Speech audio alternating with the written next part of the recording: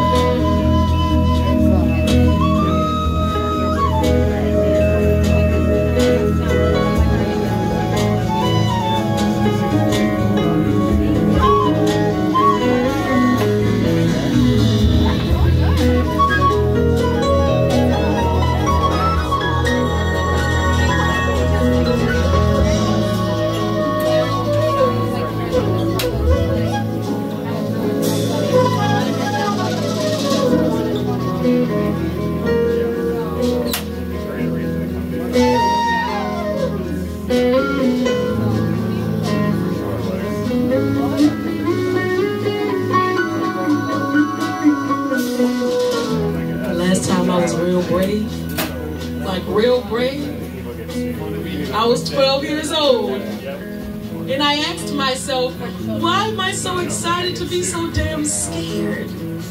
Like feeling my heart roam throughout my entire body, only to find it in earthquake hands, but I couldn't wait to get back in line. I had to get on it one more time. I couldn't wait to tell my friends about the drop and how it looks and how it feels from the very top. And that's when I knew.